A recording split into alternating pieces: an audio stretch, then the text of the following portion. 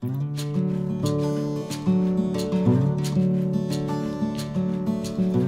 皆さんこんにちは。あの山久洋二です。えーとね今日のポイントちょっと見てくださいよ。この熱い本。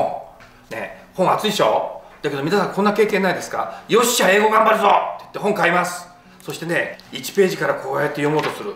もう最初から辞書がいる。やべえや。これはもういいや。と言って頑張って読むんですけど20ページぐらいで挫折しません？誰だってしますよ。当たり前ですよ。これ1冊読むの大変でしょ。で実はですね本って何のためにあるんでしょう。本って情報を取るためにあるんですよ。日本人にとって英語の本って何でしょう。話題を持つこと。話題のネタにすること。それからここから何か情報を取るためにはどうしたらいい？それにはですね最初から読もうなんて思わないこと。この中に必ずですね熱い本でしたらね最後にこうやってほらインデックスってあるんですよ。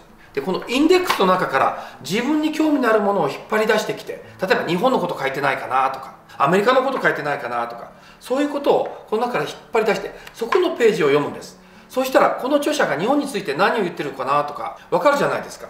それを話題にするんです。そうやってインデックスから読んでいくっていう習慣これは英語を学ぶためにも英語で情報を収集する上でもすごく大切なんです。100冊でも200冊でも思い切って買ってそしてインデックスからやってください。いつの間にか1冊読んだのと同じぐらいのボリュームを頭の中に入れることができます。頑張ってみましょう。